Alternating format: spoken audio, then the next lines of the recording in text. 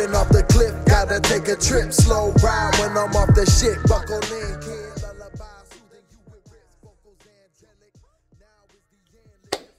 What up, YouTube? Hey, uh, the last video, we finished installing that Mishimoto radiator fan shroud, the radiator itself, and that racing thermostat. All good. You saw me bleed it. Well, you heard me instruct to you how to properly bleed the system so that way you had no issues. And uh, tonight, or this evening, or this evening or tonight, whatever it might be, um, I'm gonna go ahead and knock out this oil cooler. I already drained the oil out of the car and removed the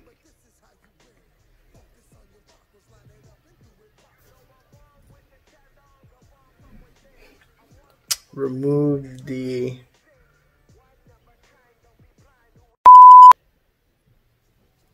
I just had a brain fart. I drained the oil.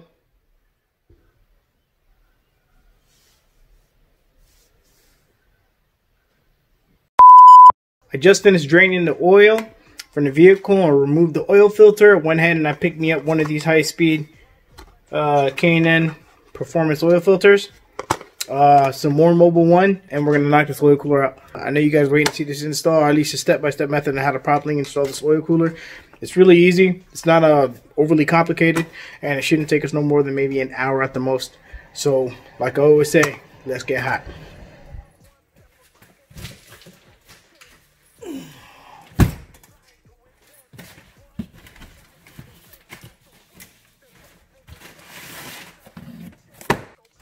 Got all the screws and fittings.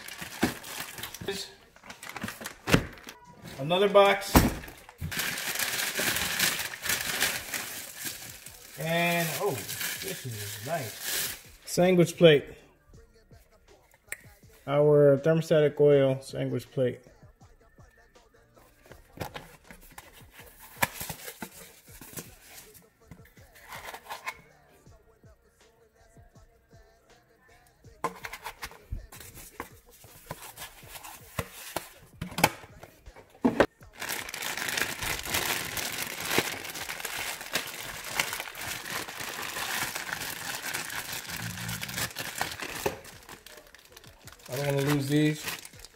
Screws.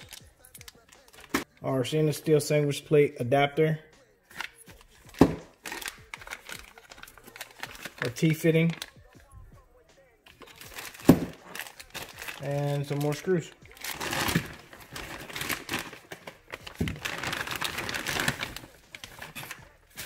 Voila, there's one.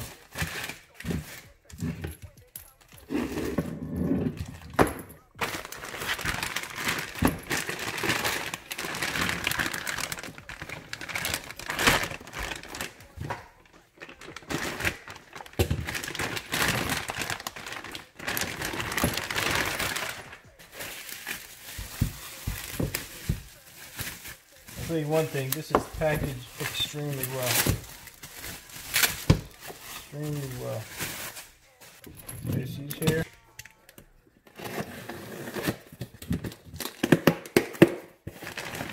And our bracket.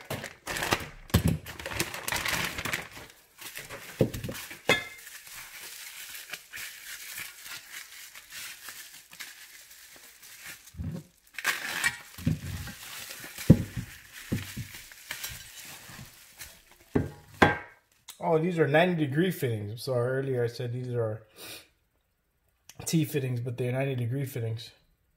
Nice little Mishimoto at the end.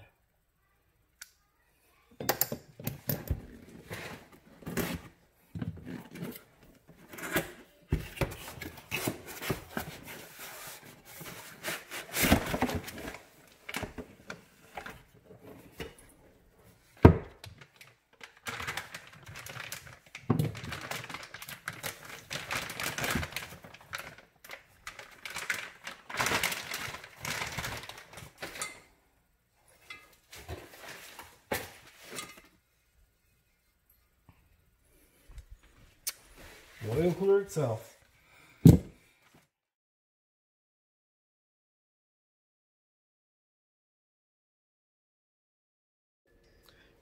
Yo, what up, YouTube? Hey, uh, so today, um, we're gonna be doing uh, the oil cooler finally. Uh, it shouldn't take long.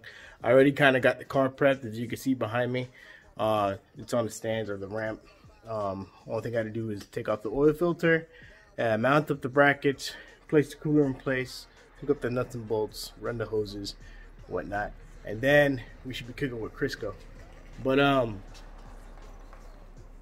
I know it's been a, a little bit since I probably almost two weeks I think since the last video, but uh, just to keep it uh, you know they've been having us on lockdown out here. I don't want to say necessarily lockdown, but I think everybody is because of this virus. So for you guys out there, stay safe, and uh, I just uh, I do my best to keep the content coming. All right, so uh, I would have had this done a lot sooner, but I had a hiccup. The hiccup was the oil cooler came, and the bracket that came with it wasn't the incorrect bracket. Started the video uh, a couple weeks ago, and I realized that the bracket wasn't the same after I tried to line it up, and the holes wasn't lining up, obviously. And when I checked the box, it said 370Z. So for you guys that have a 370Z or a uh, G37, this is the bracket that you will need right here. Or there you go. That's the bracket that you guys will get. Okay, now I kept it for two reasons. One, I think my interest has been piqued to do a G37 uh, IPL front bumper conversion. Um, so the rear is going to look like a G35, obviously, and the front is going to be a G37. So I'm in the midst of collecting all the information necessary to get ready to do that. Uh, and then once I get started, I mean, you guys will be here for the for the trip with me. So uh, I know when I do that, I'm gonna have to use the bracket. So for the time being, I'm gonna put the oil cooler in with the correct bracket. I I uh, I reached out to Mishimoto. I reached out to Mishimoto. They squared me away. Uh, I got a new bracket that fits the G35. So for the time being, I'm gonna go ahead and install that bracket, and then I'm gonna go ahead and when I do the uh, front end conversion, then I just switch brackets out. It's gonna be that simple. All right. So I don't want to hold anybody up too much longer. So let's get hot. And today is a gorgeous freaking day. Holy crap. Gorgeous day. And I brought old Sasha out. Me and Sasha gonna go get some wheel time in for a little bit. All right. Maintain that social distance. You know what I mean? Anyway. So here's the one, the old bracket like I showed you a minute ago. So we're just gonna put this one in storage.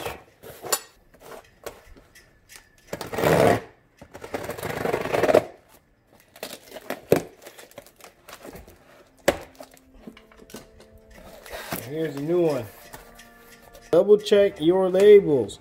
350Z. That's the one you want for you 350Z G35 owners.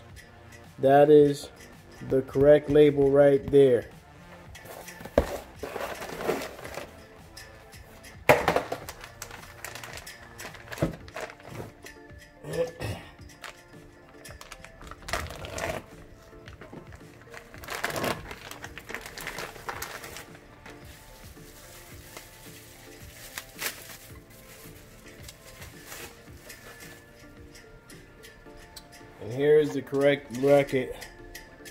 350Z G35 owners like myself.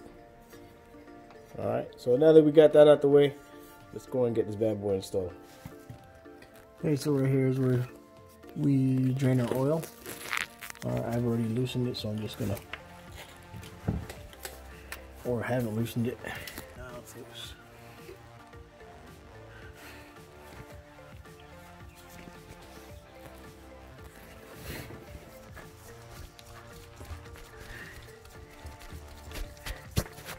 You will need to top your oil off after this. Alright, not all of it's going to drain out of there, but a good amount is. So make sure you go get yourself some uh, new oil.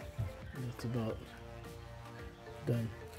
Another thing you want to do uh, prior to the installation, um, you're gonna have to raise your radiator a little bit to get into this under panel. The reason being is these screws or these holes that are already in your radiator uh, mount. Um, right here, you see my finger. These are where the screws are gonna go to mount the oil cooler bracket.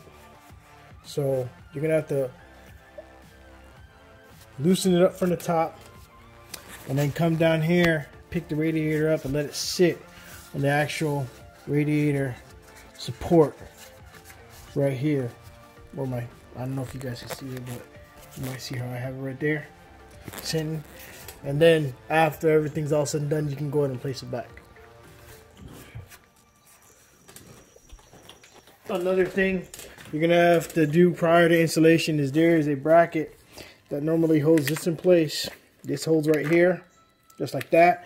And then there's another metal bracket that normally screws into right here. Let me go get it so I can show you.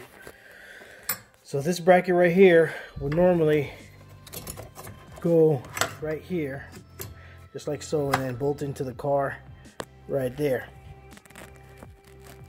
Just like that. It would go in here just like this.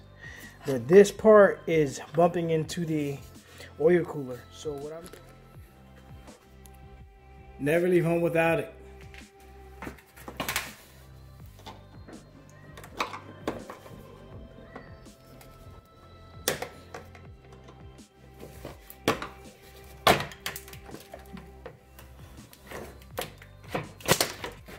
Enough for government work.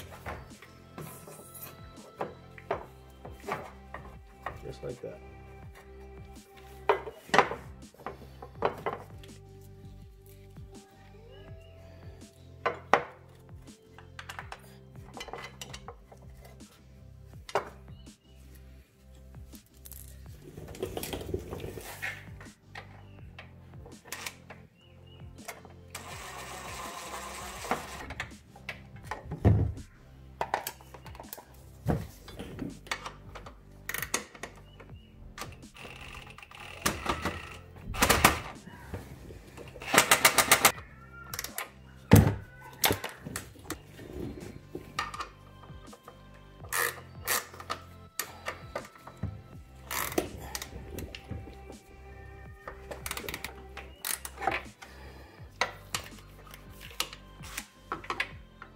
All right, so I got the bracket in.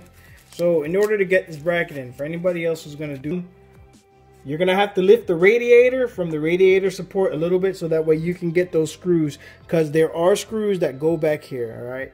There are screws that go back here. It's how it bolts on. Now that we got the bracket on, I went ahead. You're gonna also have this, if it's a G35, you're gonna have this cabling right here.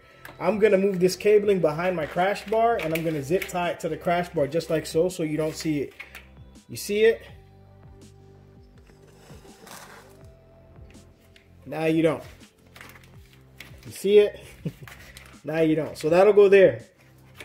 The next step, you had this bracket that you saw me cut earlier. I went ahead and I cut the bracket with the intention of putting the bracket on to hold this part in uh, in place. But as it as it turns out that when I put the oil cooler itself in or on to the bracket, I have to move it a little forward so it will fit the way it's intended to. Right? Now, I know a lot of you in the comments are going to notice that the M on this uh, oil cooler is upside down. It is upside down. Why is it upside down? Just another G? Well, I don't know. You should be fucked up. But it's all good because if you don't want to see it, you have two options. Maybe three. So this is your option one. F it. You, you know it's by Mishimoto. Put it or install it just like so, how it's intended to. Or go ahead and turn it around and install it backwards. Or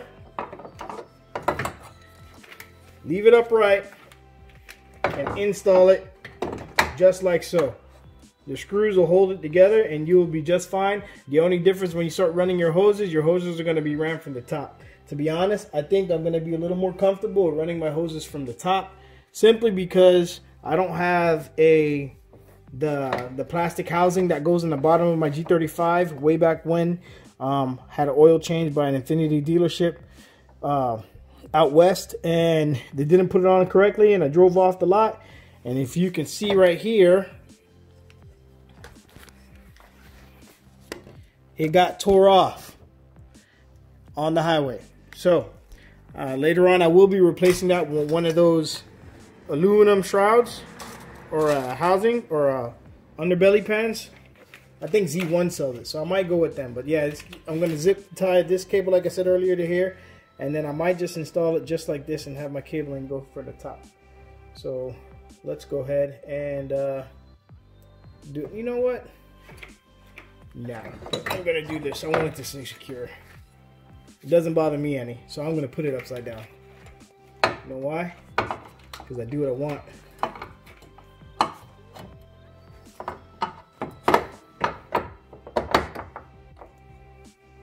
Just like that.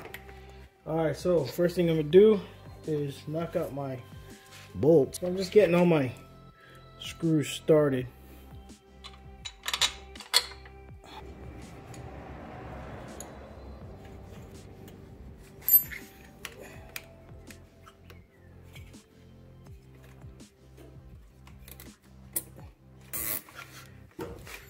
Zip ties for the win. Is your car broken? Are you just doing this to record? Are you just putting this on Why are you talking? Huh? Why are you talking? I don't know. Hey, you know the cameraman doesn't talk. You ever hear the cameraman on YouTube talk? Ah, I saw this YouTube video. No, the cameraman cameraman, does not talk. There was a cameraman. There, the was cameramen don't talk. Mhm. Nope. There was one. There, are no cameramen don't talk. Uh-huh. I didn't. Do I pay you to talk? Okay then. I pay you to do what? What did I pay you to do? film. Okay. So now we're gonna get our banjos ready. So what you want to do with these is put a little bit of Teflon tape around the threads because I don't want any oil to come out of my thermostatic sandwich plate. It's righty tighty, lefty loosey. So if I'm gonna loose tighten up my banjos into my uh, thermostatic sandwich plate, I want to put the tape on in a manner that's not going to come uh, unraveled. So I want to put it in the same manner that I'm going to twist.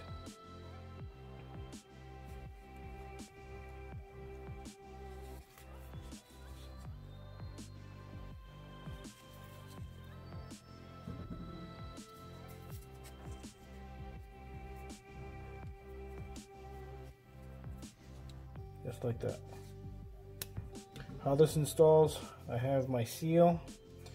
I have front, this is the part of your sandwich plate that you're gonna see where you place your oil filter. So we're gonna put our banjo fittings on. Oh, some Teflon tape on this end too. Oh shoot. I mean, oh shoot.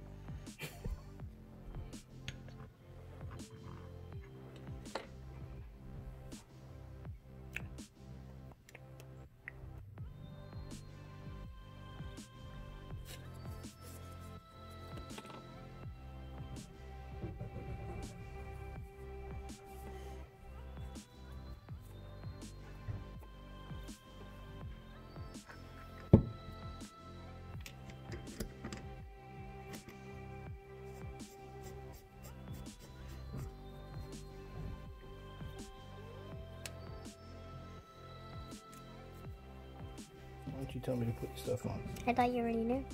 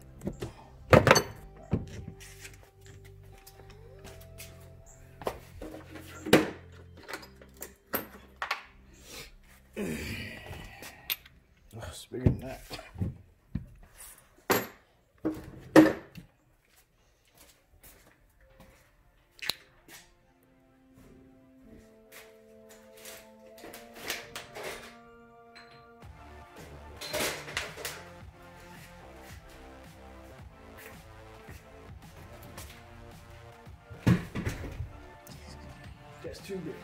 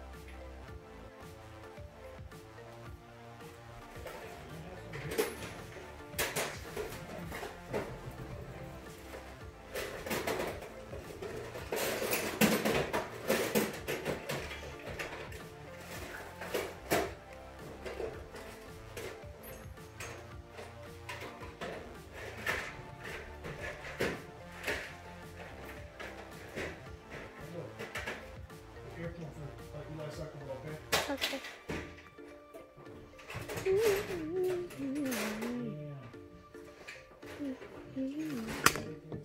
Daddy, why don't you use the stool for this? To hold the camera? What's that? The stool? Why don't I use the stool? Yeah. Why have you? You said you hmm? wanted help. Yeah? You heard me? I thought I was downstairs when I said that. Next best thing. Okay. Channel locks.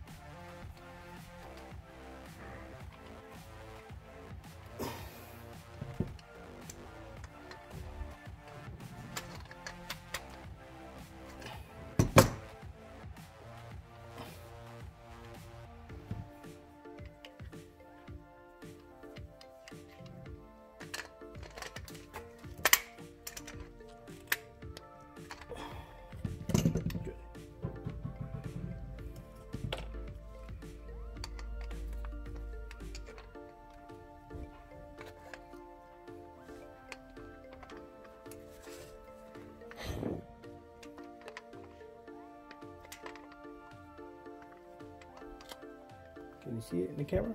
Mm-hmm.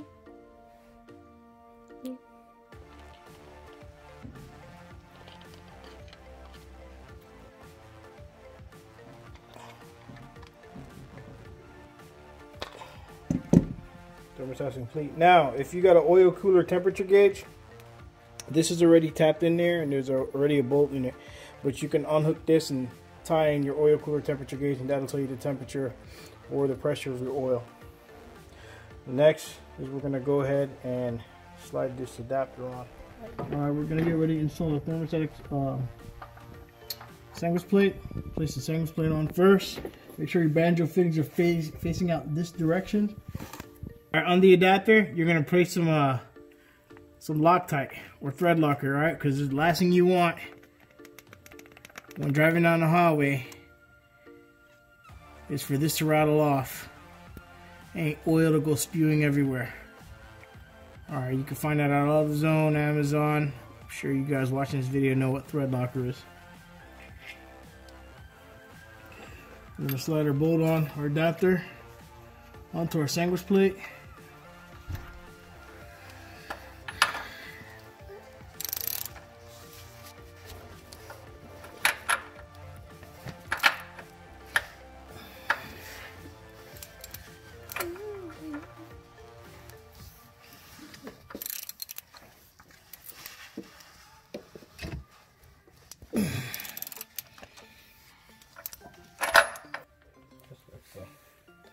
Well, actually, we know the longest one's gonna go to the outside, so I'll start just to keep things out of the way.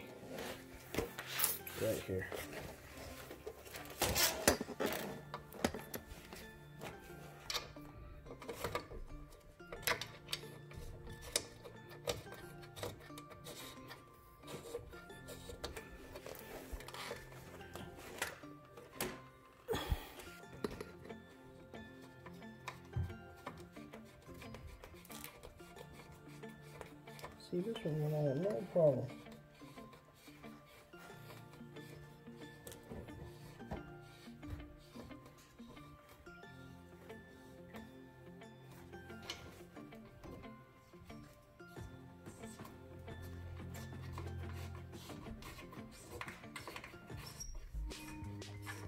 Not going to tighten these all the way up. We're going to leave them loose so they can move around a little bit. And then we're going to go over to the banjo fittings and knock those out. I'm going to go ahead and feed your tubing right through this plastic paneling that ends up right where you need it to be.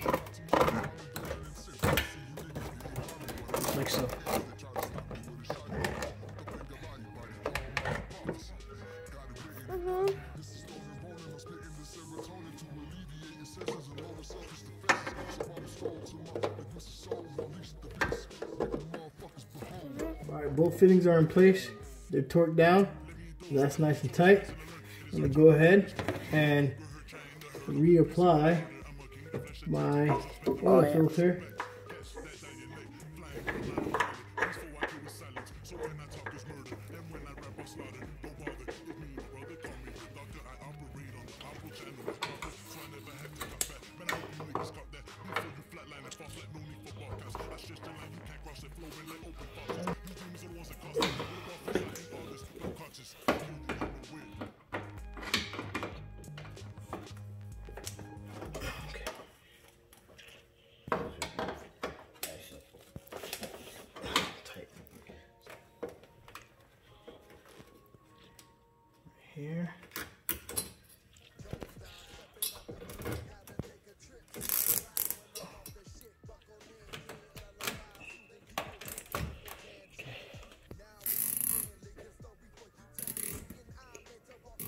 So, install is complete.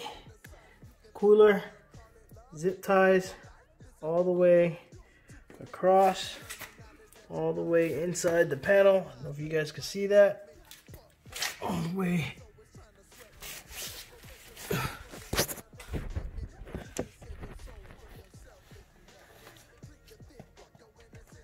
To the assembly plate. Done and done. Alright, so everything's running pretty normal. Uh, no leaks. I checked on my fittings just to make sure. Um, I don't have anything going on that shouldn't be going on. And no leaks at the bottom of the car. That'll wrap up this video uh, for the Mishimoto oil cooler install. Um, you gotta thank my little cameramen that were helping me. I had some guest cameramen. So uh, applaud them for a job well done. Um, the install was it's it's not a hard install. You just have to make a few adjustments for your G35 owners. Um, after those adjustments, everything is pretty much plug and play. Uh, just remember the options you have to either put the oil cooler upside down, backwards, or you can flip it upside to where the hoses are coming from the top. I chose for mine to come to the bottom, so that way I would have the ability to zip tie that one cable to the oil cooler itself, which is good. Um, and it worked out for the most part. Uh, I also made sure I secured everything. I think the next uh, install I'm going to do is something not so much for performance, but after looking from under the car and installing the oil cooler, I really don't want anything to kind of come in contact with it. And like I said earlier about my plastic shroud that used to be there to protect all the under bits, I'm going to go ahead and see if I can grab up one of those, uh, I think it's called the Z-Speed uh, aluminum under shroud something something like that. That way i can have a little more protection under there. We'll see what's next after that. And then uh we'll just keep moving. Um i still have the pulleys to install. I still have no idea how i'm gonna get them off. Um everybody makes it seem like it's so easy. And i thought it was gonna be easy and it's it's kind of tough. At least by yourself. It's probably why it's tough because it's by myself. So what I might do is when I take the car to go up to get cammed, and I get the uh, the new clutch and flywheel, I'll probably have them just knock out the pulleys and see how much of a I can get into the video. All right, so it's it's coming along pretty well, I think. Um, I hope you guys are enjoying the content. Just remember to like, comment, subscribe. Uh, please, if you subscribe, don't forget to smash that notification button so that way you can get my videos as soon as they pop up and they're readily available. All right, so this is just another G, and you guys stay safe out there. Wash your hands. It's hard out there in the streets. Wash your hands.